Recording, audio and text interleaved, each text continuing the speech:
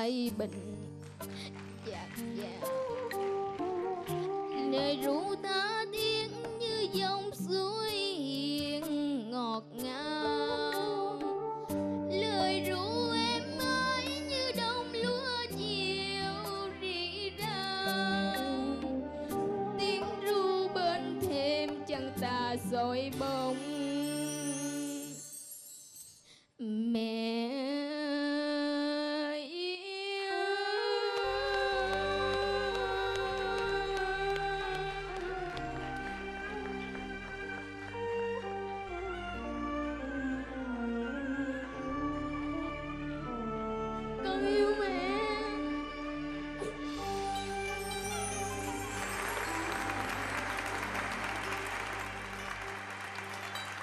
con đã làm cho mọi người khóc hết rồi kìa.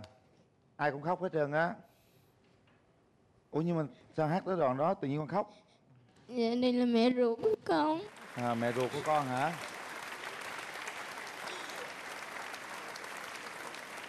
tôi thấy rằng ai cũng khóc hết trơn, tôi cũng biết mời ai trước đây. Ở đây thì thật ra ai cũng là mẹ hết rồi, mẹ và anh lê hoàng cũng là cha rồi. Chỉ có minh nhí là chưa có con thôi, nhưng mà thật sự là minh nhí không có cha, không có mẹ. Ba mẹ mất sớm quá.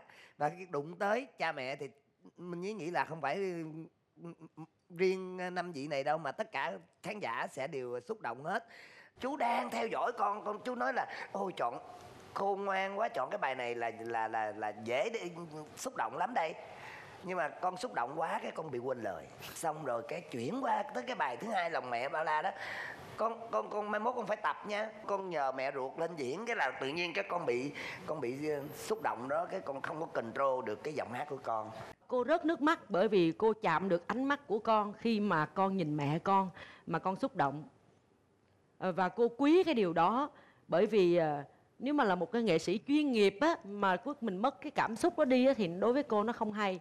Và cô trân trọng con và cô đồng cảm với con bởi vì mặc dù con đang thi nhưng mà khi về cái về cái người mẹ của mình thì con đã không kèm được. Và con nghĩ rằng cái khoảng khắc đó nó rất là tốt và nó theo con hoài hoài hoài.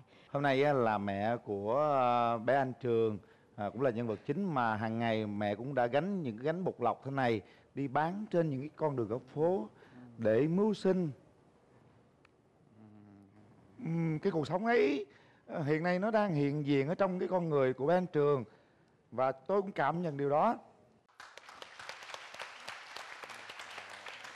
Một cái gánh hàng từ đông nó giúp cho tiếng hát bé ấy trong trẻo hơn. Cái tiếng rao ấy nó là động lực trên những cái chặng đường hết sức gian nan của cuộc sống. Chính vì thế em khóc. Xin lỗi nha. Chú sorry con nha con. Chú chú không nghĩ là mẹ con mỗi ngày phải đi ờ, là mẹ mẹ mẹ mẹ con à, xin lỗi con chú nghĩ mẹ con ngoài chắc là công nhân viên chức hay gì đó chú không có hiểu được cái hoàn cảnh thật như vậy. Cái tiếng rao ấy đã nuôi con lớn khôn và hãy học tập thật tốt.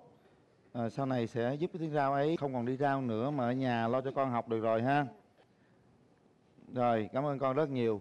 Cảm xúc dừng lại đó bởi vì đây cũng là một cuộc thi luật chơi nó cũng có, Có rõ một ràng tình lắm. cảm vừa nảy sinh trong cánh gà giữa một bạn ảo thuật và một bạn ca sĩ. Vừa kết nghĩa anh em kêu là anh của con. Hai bạn đồng cảm vì hoàn cảnh cũng gần gần giống nhau